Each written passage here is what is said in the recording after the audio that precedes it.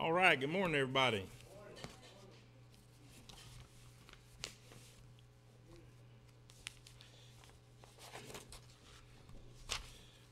New lesson topic. Amen.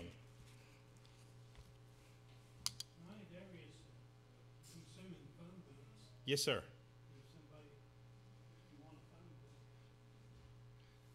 We have the church phone books are completed. So, help yourself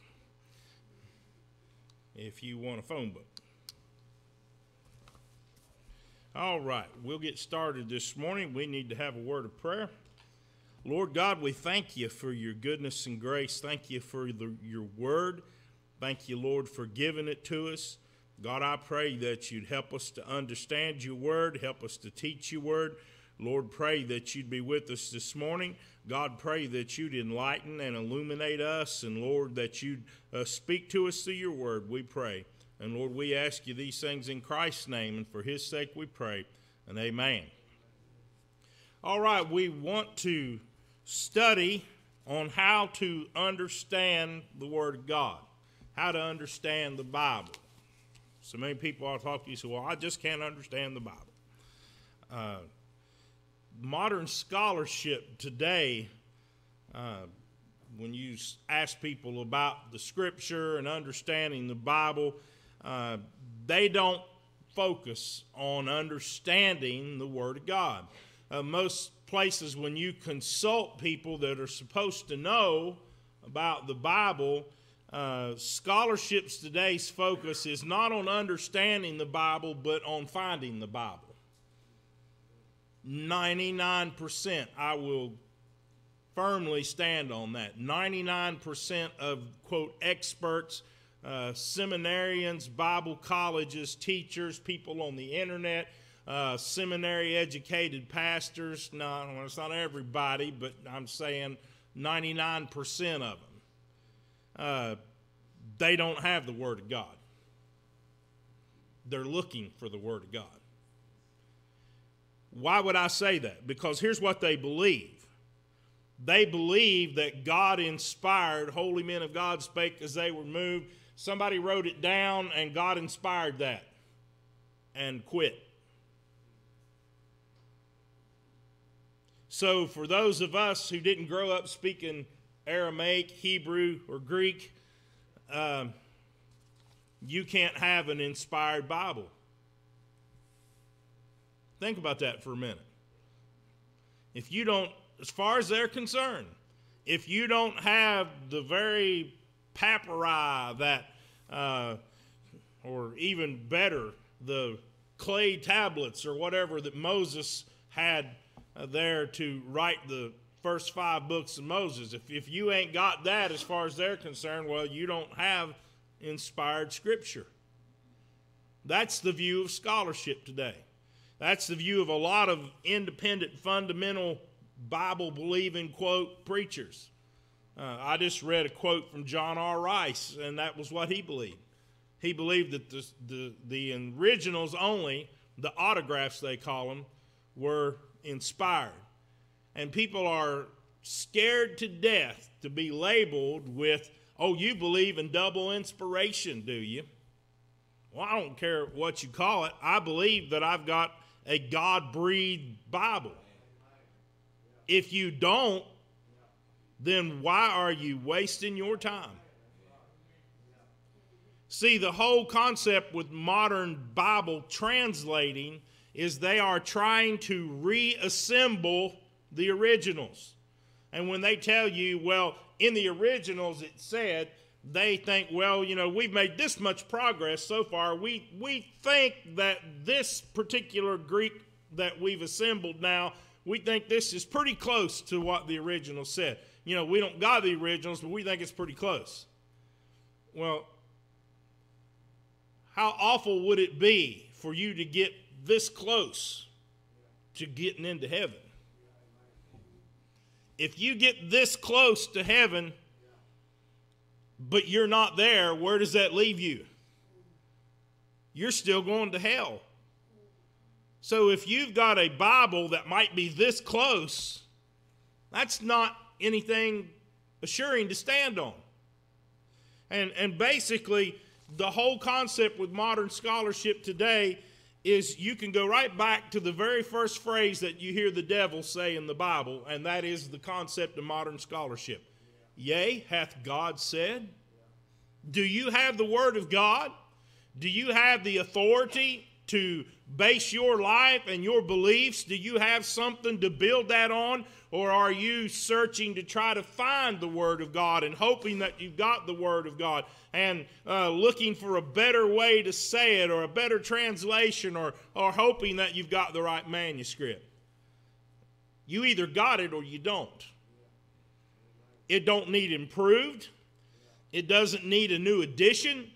Uh, you've got, or at least I'm going to teach that you've got the inspired Word of God, the inerrant, unalterable, every jot and every tittle you've got on your lap this morning or in your hand, or you've got a uh, 1769 edition of the 1611 King James Bible in your hand, then you have got the God breathed, inspired Word of God. And if you don't, then go home, pack it up, watch football this morning, do something a little more productive with your time because you're wasting your time. The arrogance of people, I do not comprehend at all how that I just don't get it. You either are going to have to put your faith in that God preserved His Word and you've got it here, or you're going to have to put your faith in scholars and what they tell you. It all comes down to faith one way or another. And I just assume to put my faith in that I've got the Word of God. I've seen what this has accomplished. There is a testimony of what this has done. Have you noticed that in the years since they have been revising and altering the Word of God, what has it done to the Spirit of God? How has the world improved since 1880 when they come out with the, the first revised standard version of Westcott and Hort? How has Christianity and spirituality improved since the new Bibles have come out? It hasn't. It's decreased. Modernism and rationalism is increasing. We are where we are today uh, because people have abandoned the authority of the Word of God and have replaced it with so called science. So, if you're going to understand the Bible, the first thing you're going to have to do is understand that you've got a Bible. If you don't understand you've got a Bible, why bother trying to understand it? Amen? Why is it important to understand the Bible? Well, how else are you going to know God? Let's be honest. You have to have a manual of some kind. How many, you, you go out and buy something that requires you to assemble, whether a piece of furniture or uh, an electronic or an exercise equipment or something, you buy that, and what are you going to do if you don't have an instruction booklet with it? Now, some things you may be able to intuitively do and put together. And a lot of guys I know, that's their modus operandi. Heck with the instructions, we, I'm smart enough to do this. And then when you get done and you think, well, what's this hardware for? And you got all this stuff left over. That's because you didn't know what you were doing. Uh, you just thought you knew what you were doing. God did not leave us without instructions, especially in the day and age that we live in now the in the time or if you remember from my illustration from the first lesson that we did which uh, just to remind you uh, the bible was like a road atlas and you better know where you're at and which map you're supposed to be on if you're going to navigate with it. And where we are today we have the complete copy of all of the instructions. So don't expect to get instructions from a audible voice from heaven or in a dream or in a vision because God's not operating like that anymore. You, you don't need that anymore. Everything God wanted you to know is right here. Now, if, if you don't believe that, then you're going to be in trouble because you can hear all kinds of voices. And if that was a sure means there wouldn't have been an instruction in the scripture for you to try the spirits because every spirit ain't of God. And how do you try the spirits? How can you know the spirits? Well, you have to know this. If you don't know this, then you have no basis on how you're trying the spirit. You wouldn't even know to try the spirits if you didn't have the Word of God to instruct you in that.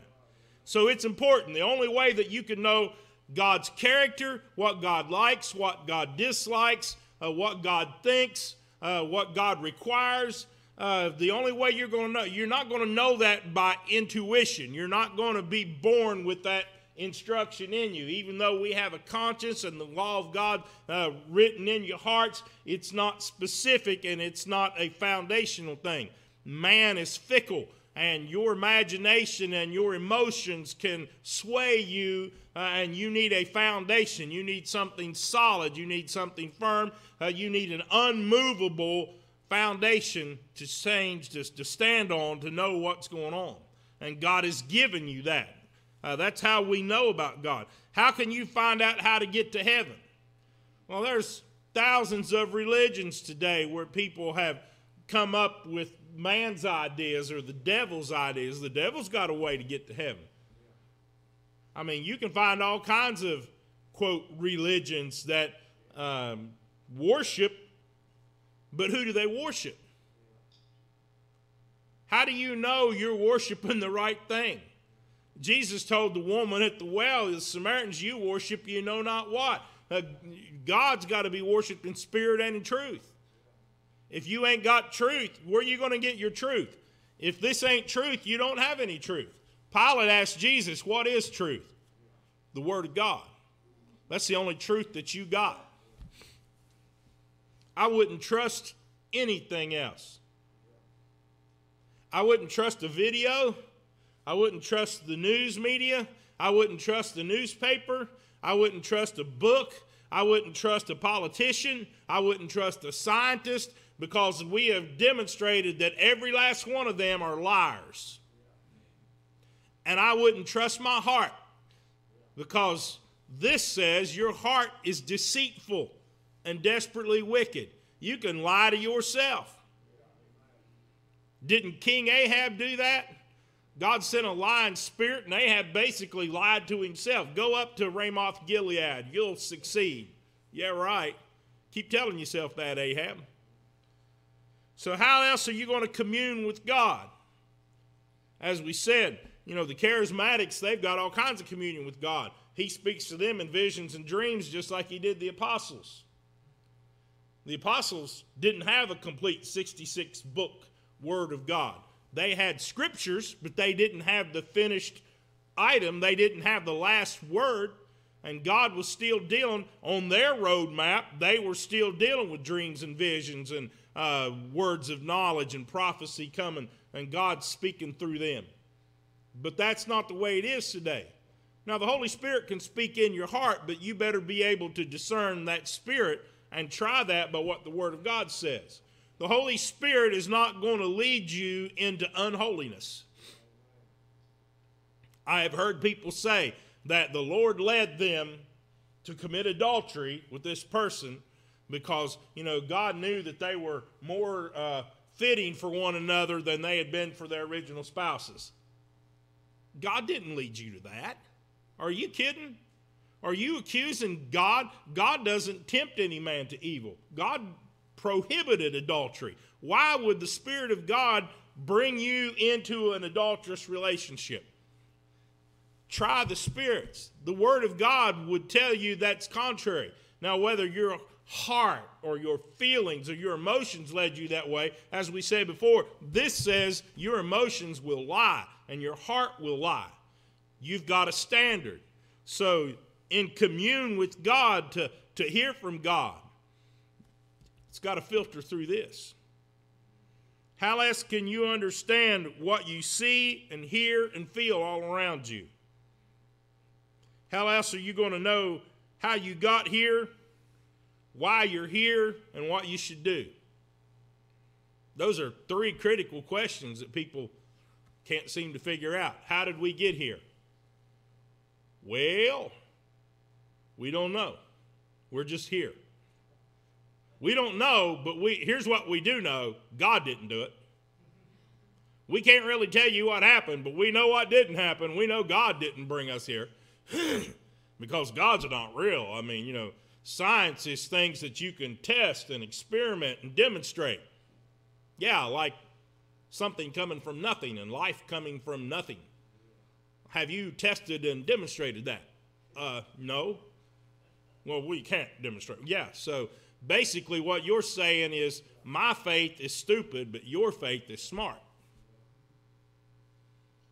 You've got a religion, just like I do. By faith, you believe God didn't do it. And it's interesting to me that there, when you look at things from a uh, bipolar, for lack of a better term, it's either God or Satan. It's either good or evil. You, there's only two choices. If you're not in one, you're in the other, right? You're either male or female.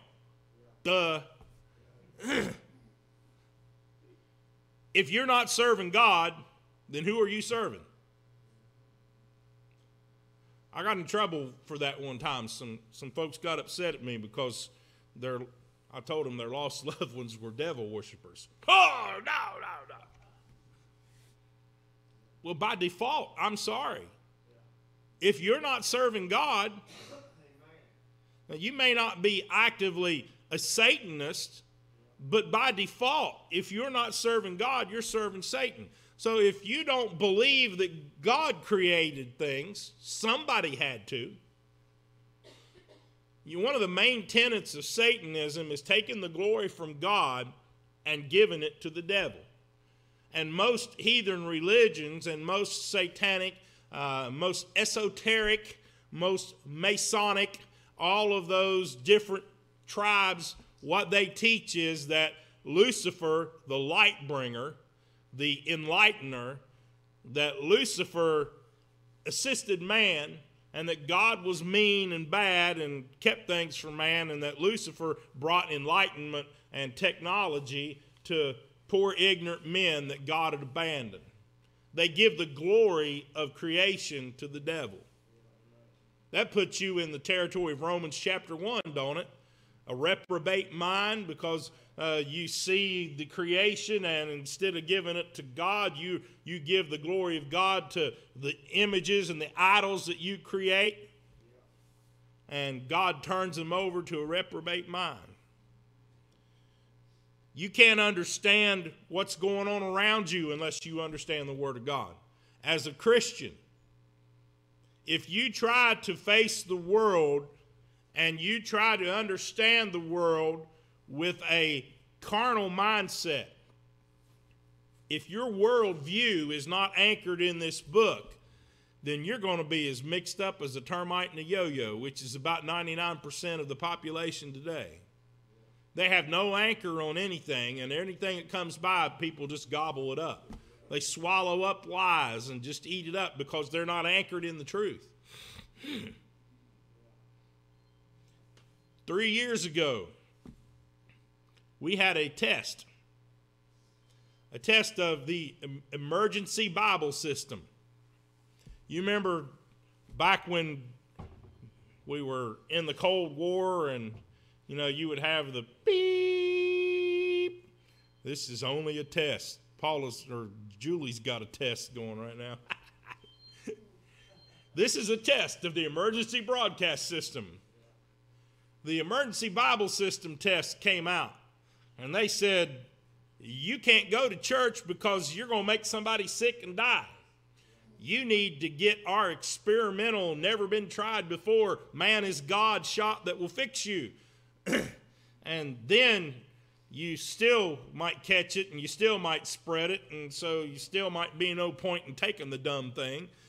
but because we were told to do so, if you didn't have a biblically anchored worldview to filter all of the information that you're getting through, then you follow the lie. Follow the science. Ain't that what they pushed? Science is what got us there. Um, Dr. Fauci and friends monkeying around with stuff God didn't intend nobody to fool with that got away from them. And then they want to shut down the worship of God. And do you realize that the church has not recovered from that? There are still churches shut down. People just said, "Oh, we're done." Lots of people failed because they found out they weren't anchored on anything. They just drifting.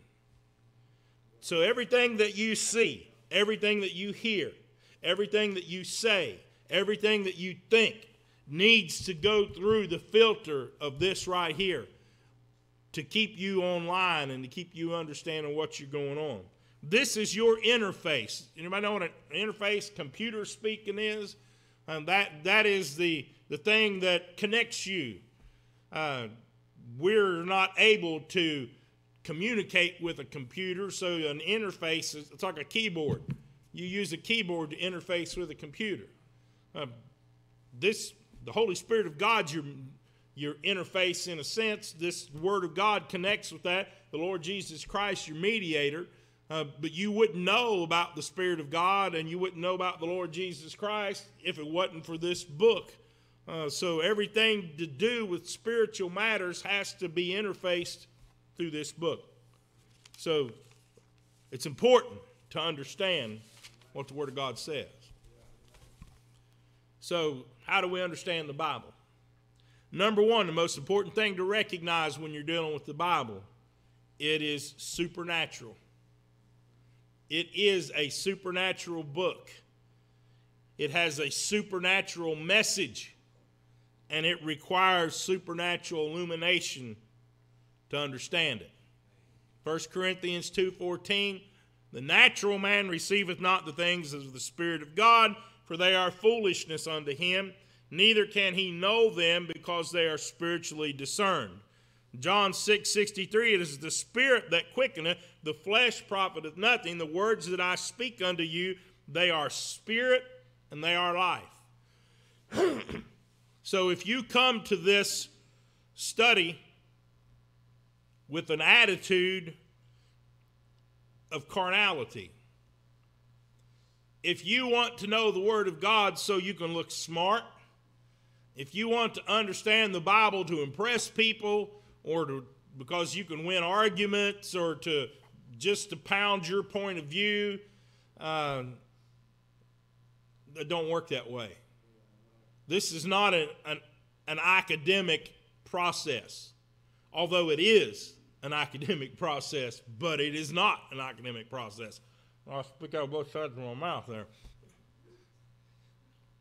You have to come to the Word of God with understanding that you're not going to understand it with human logic. Human logic don't fit supernatural things. That's why it's called supernatural. That is that something the very concept of this being the word of God that's not carnal.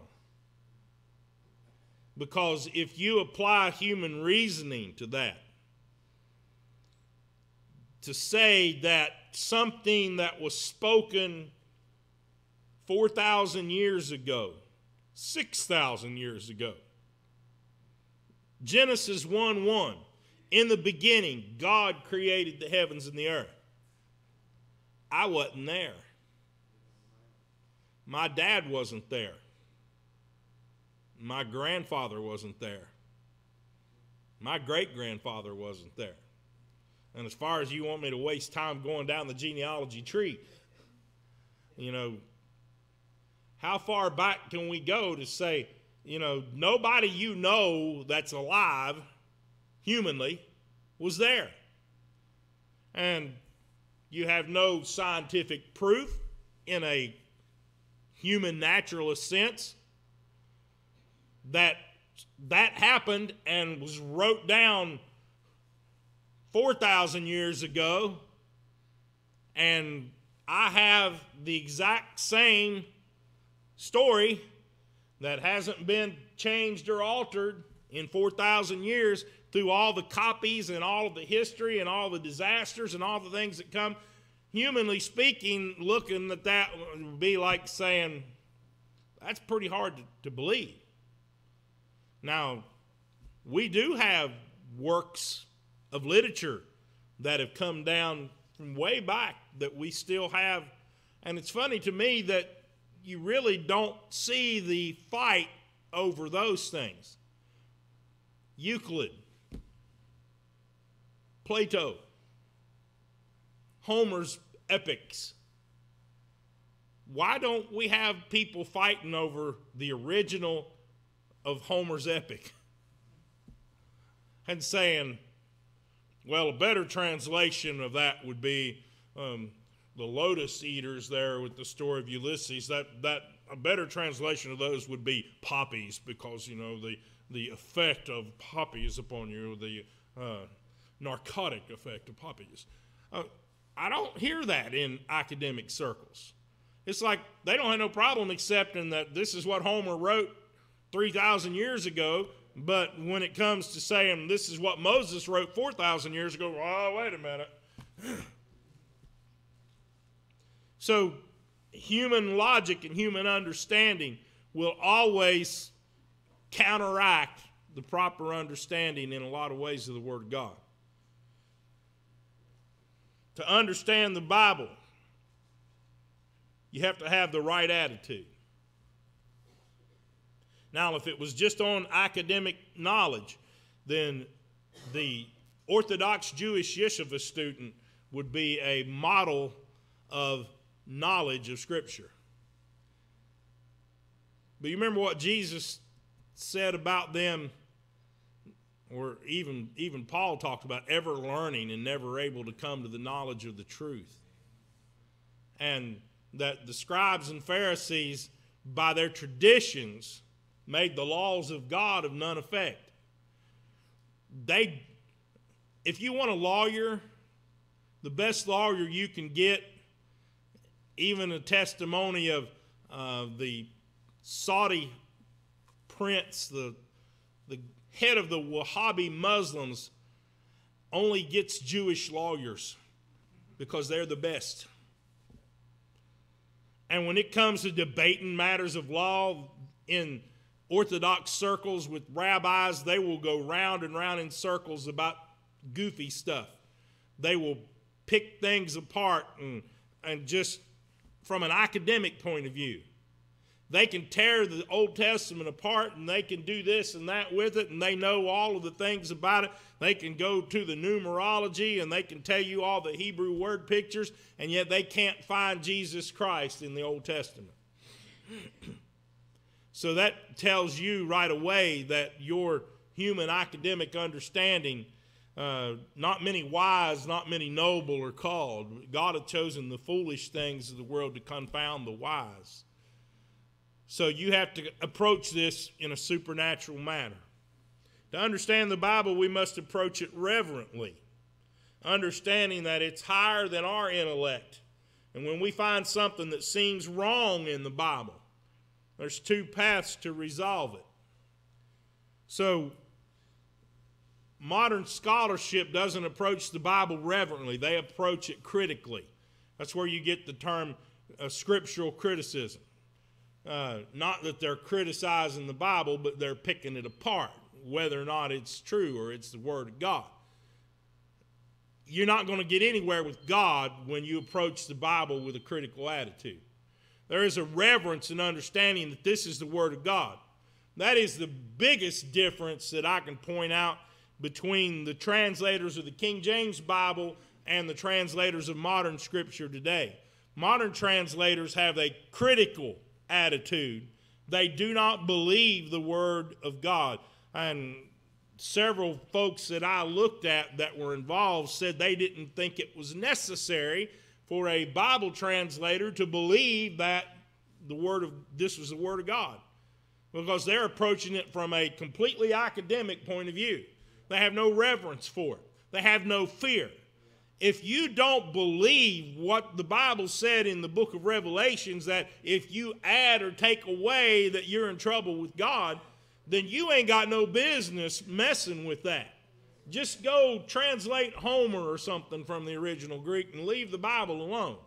The men that translated this in 1611 uh, were reverently fearfully, believing that the task that they had at hand was not an academic exercise, but it was a spiritual matter that required communion with God. And they did not come into that task with a academic mindset, but prayerfully and spiritually, uh, they asked God to illuminate them and to help them. And they were interested in pleasing God and believed that God would deal with people uh, who monkeyed with the Word of God. So if you want to approach understanding the Bible correctly, uh, you got to understand it's supernatural. And two, you got to approach it reverently. Uh, when your academic reasoning sees things that don't make human sense to you, what are you going to do? Are there things in here that do not make human sense? oh, yeah. People say, well, there's contradictions in the Bible. That depends on how you're viewing and with what attitude and what spirit you got. If you read this from a attack attitude and you're just wanting to find fault, you'll find it.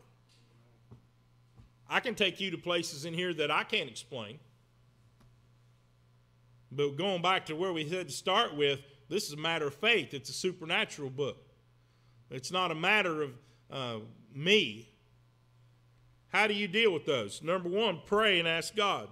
James 1 5. If any of you lack wisdom, let him ask of God, that giveth to all men literally, liberally, and upbraideth not, and it shall be given him.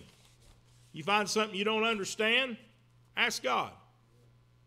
Well, it don't hurt to ask somebody uh, if you got somebody you got confidence in, but you know, I would recommend first, before you give up and, and ask a person, and I've always found this out 99% of the time, if, if I ain't understanding it, I'll go to commentaries. They don't understand it. So I'll go to I'll go to the preacher and say, "Hey, what about this?" And he says the same. I don't know. We're not Superman. God, I mean, I'm not saying that people can't help you. I mean, the Ethiopian eunuch had somebody to help him, Philip. But ask God. God might send somebody without you asking that can, you know, give you some light on something. If you will pray and ask God to illuminate that, number one, if you find something wrong, ask God to reveal it to you. Number two, if you find something is wrong and you don't feel like God's revealed it to you, then here's what you do I'm dumb and God's smart, and just keep going. When you find a problem, if you can't find an explanation for it, then the academic answer would be, well, that's a, that's a problem. And the academic minded, the carnal minded Christian that's translating Scripture will say, we got to fix that. That's a contradiction. We have to change this translation to get it fixed. No, you just best leave it alone. The problem you've got is you're assuming that you're smarter than God. And guess what? You ain't. When you you cannot comprehend the intellect of God. You don't have enough life or brain cells to be able to even learn everything that we in spite of quote the explosion of knowledge that we got today, we are still dumber than a box of rocks when it comes to understanding everything that God's done. There will never be a day when humanity can say, well, we figured out everything that God created. We'll have to start somewhere else. Nah. They only think they have learned things. It amazes me at how arrogant they are, and they'll make these announcements like, uh, we've topped it out here. We're, you know, we, we got the lid on all of this and we know all about it. And then you find out later on, somebody else comes along and says, nah, you didn't. You got it wrong. That ain't the way it was. That's how science, quote, works. Somebody will test the theory and say, eh, you're an idiot. You got it wrong. This is the right way. And for a while, it'll be in your textbook don't eat eggs. Cholesterol is bad for you. It'll stop up your arteries and give you heart attacks. And somebody comes along and makes another test and said, ah, they're stupid. Eat all the eggs you want. It's not going to hurt your heart. It ain't got nothing to do with that. And of all the, you know, we're going to be destroyed by uh, nuclear winter, or we're going to have the next ice age coming. We're all going to freeze to death, and the glaciers are going to crawl across the continent. And then 10 years later, we're going to die of global warming. The ice caps are melting. We're all going to drown on the coast. That's the academic attitude of science. We know. Oh, sure, you know. You idiot. If you don't filter what you know through the Word of God, you're a moron. That's just plain and simple. Because God, that created everything, every system, every action, every bit of biology, every bit of physics, all of the concepts of the laws of physics and nature that God brought from nothing, and you want to try to go, Job says, I repent in dust and ashes, and I abhor myself. When you look at what God can do and what you are, you're not even a speck of dirt. So if you find something in the Bible and you think, well, that's wrong, who's right? You or God? God's right and you're wrong. So you have to have the right attitude. You have to have the assistance of the Spirit of God. Then, to number three, to understand what the Bible says, it must be put together correctly. It's like a desktop computer system. You got to have everything plugged in the back of the tire. Your keyboard's got to go here. Your mouse has got to go there. Uh, your speakers go in over here. You hook your printer in right here. Uh, you know, all of that stuff. It's got a place you got to plug it in right. You might have the best computer in the world. You might be the biggest geek out there and know everything about all of the electronic systems and be able to code and hack and all that stuff. But if you ain't got your monitor plugged in the right spot, duh, you ain't going to get anything done. You ain't got your mouse plugged in, or your keyboard's not plugged in the right place. It's got to be hooked together right. The same thing with the instructions when you're putting something together. You got to have it put together correctly. Now, a lot of things that people mess up about doctrine and scripture and understanding of the Word of God, they get wrong because they don't have it put together right.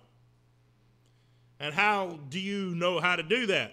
Well, the key to that is 2 Timothy 2:15. Study.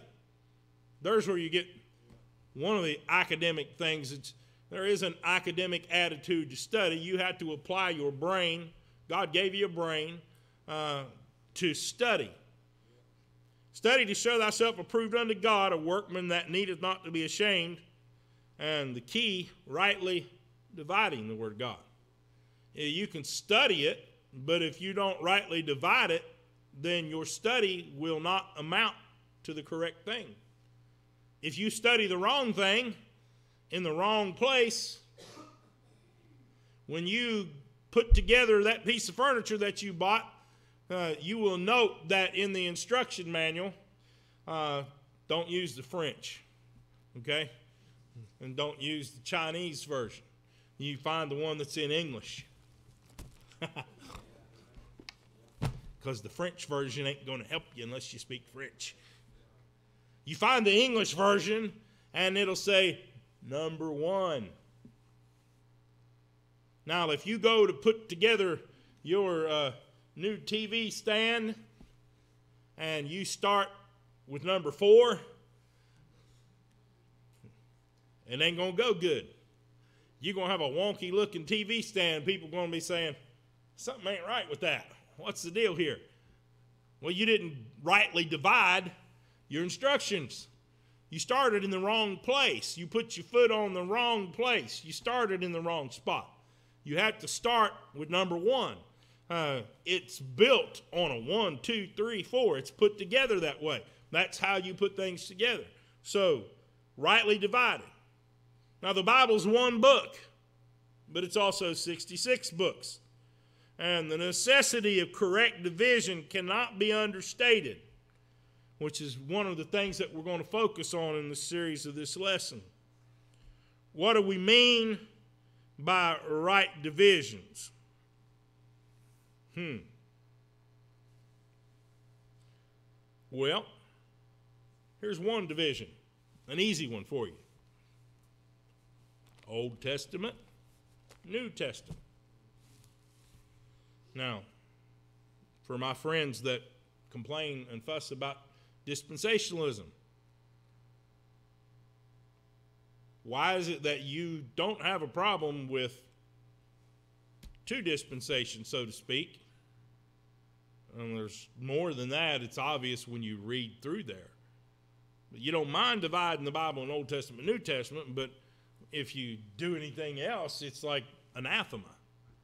Well, that's the basics of division. That's obvious. And what, what is the dividing factor in that division? Time. There's a difference in time with these two books. Time has passed. You even have a, a period of time where that God did not speak or reveal anything. 400 years from the close of the prophet Malachi to the opening of the book of Matthew. 400 years of time in history that is not there. God was silent. Almost like he was establishing a division yeah. So, one, one way of division, the Old Testament, New Testament. Another way of dividing the Bible, abstract and concrete, or literal and figurative. If you can't figure that out, you can get in a mess. If you can't separate what is literal and what's figurative, here, John 6 54. Whoso eateth my flesh and drinketh my blood hath eternal life. Literal or figurative? Figurative, right? Do you know not everybody believes that? Do you know there is a major worldwide denomination that accepts that as literal. Anybody know who that is? Roman Catholic Church. They teach that as literal. Now, you say, how in the world can you literally eat Jesus and drink his blood? Well, it requires a magic spell. You take these cheap cookies that are made in China and stand in front of the church and make this Latin incantation, and God supernaturally turns that cookie into the literal flesh of the Lord Jesus Christ and turns that Mogen David into the literal blood of Jesus. Now, uh, if I'm not mistaken, uh, and I don't want to say the wrong thing, I think that the Catholics only pass out the cookies, they don't let everybody drink the wine. The Orthodox do, I, I think. So don't exactly quote me on that. I have to look that up. But as far as I remember, in the Mass, only the priests drink the wine. So you get the body, but you don't get the blood if you're Catholic. That's bad news. So understanding between the abstract and the literal, that can be critical. You need, you need to understand that in verse 60, many therefore of his disciples, when they had heard this, said, This is a hard saying. Who can hear it? Because people are misunderstanding. They're taking that literal, and Jesus didn't mean it literal. Does this offend you? Third division that you need to understand. You need to understand the Old Testament, New Testament. You understand literal and figurative. Then you need to understand historical, prophetic, and poetic. Those are divisions. There are things in here that are relaying to you the passage of time and the events that took place in that passage of time. And that it's important.